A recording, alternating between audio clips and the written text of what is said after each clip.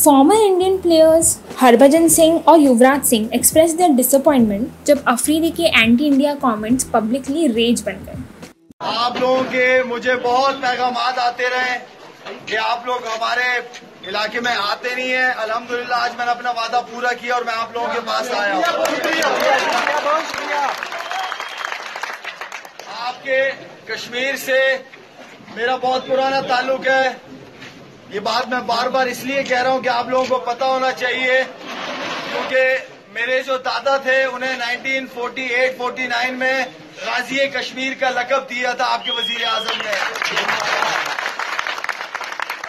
इसलिए मैं आपकी इस खूबसूरत शहर, खूबसूरत गाँव में हूँ। मैं बहुत ज़्यादा खुश हूँ अलहमदुल्ला काफ़ी अरसे से प्रोग्राम बना रहा था कि आप लोगों से मिलूं, आऊँ, आप लोगों को देखूँ। लेकिन ये जो एक बहुत बड़ी बीमारी इस वक्त दुनिया में फैली हुई है, अल्लाह ताला हम सबको अपनी हिफ्जो अमान में रखे। लेकिन इससे बड़ी बीमारी जो है, वो मोदी के दिलो दिमाग में है। वो वो बीमारी, और वो बीमारी मज़हब की बीमारी है। मज़हब को लेके वो सियासत कर रहे हैं, और हमारे ये दो किलोमीटर पे जहाँ हमारे कश्मीरी भाई कश्मीरी बहने, बुज़ुर्ग हमारे, उनके साथ जो इतने अरसे से जुल्म कर रहा है वो आदमी। इनशाला उसको इस दुनिया में भी जवाब देना होगा और आखिरत में भी जवाब देगा वो। बोथ द प्लेयर्स आए थे सपोर्ट करने के लिए पाकिस्तानी प्लेयर के एनजीओ फाउंडेशन को।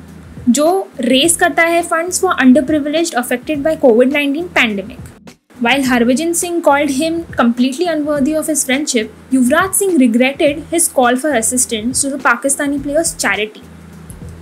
ये पूरा रायता तब फैला जब Afridi accuse prime minister Narendra Modi of committing religious atrocities in India वो भी ऐसे वीडियो में जो वायरल हो गया ऑन सोशल मीडिया इस धोखे से उभरते हुए हरभजन जी ने पीटीआई को कहा इट वॉज़ अफरीदी जिसने मुझे और यूवी को रिक्वेस्ट किया एक वीडियो करने के लिए। उसके फाउंडेशन के सपोर्ट में। आफ्टर ऑल इस पैंडेमिक ने ना रिलीजन देखा, ना borders but then again and again वो एंटी इंडिया कमेंट्स करता रहता है, जिससे मुझे टेरेबल फील हो रहा है और धोखा हुआ है मेरे साथ। As a friend and as a human being मैं उसके साथ और कभी भी, किसी भी किस्म का रिश्ता नहीं रखना चाहता। Yuvraj too echo the same sentiment in his tweet moreover Current Indian opener Shikhar Dhawan also went on his social media to condemn this act that was played out by the Pakistani all-rounder. अब ये आग बुझती है कि फैलती है जानने के लिए देखते रहिए और सुनते रहिए पॉम डायरीज़